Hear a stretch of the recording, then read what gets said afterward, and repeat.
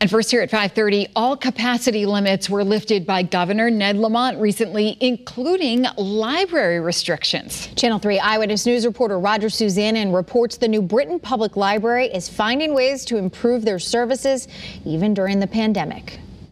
The pandemic began more than a year ago, and the New Britain Public Library is just not the same. Nope.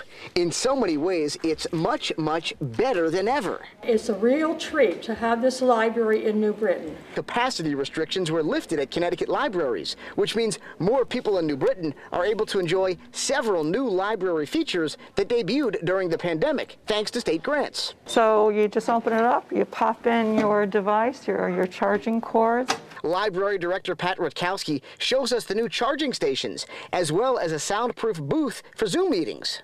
Light turns on, nicely ventilated. We clean it after each use. And more improvements are on the way. Soon the library will offer an enhanced homework help program. And this summer, a new maker's room will open. Rutkowski is proud the library offers curbside pickup and deliveries, but more and more people are also coming back in person. When I walked back in, it was a real thrill. And every day we hear another story. I got a phone call yesterday from a patron who has not been here since before the pandemic, and he was so delighted to come in and see what was available. But before you come in, make sure you know about the library's safety protocols. Masks are a must. Even the bee sculpture has to wear one. And the computer area is 50% capacity to help with social distancing. We are protecting and cleaning each uh, device after it's been used. As you can see, there's plastic bags on the keyboard in order to keep them safe. The library is also cleaned and disinfected multiple times a day.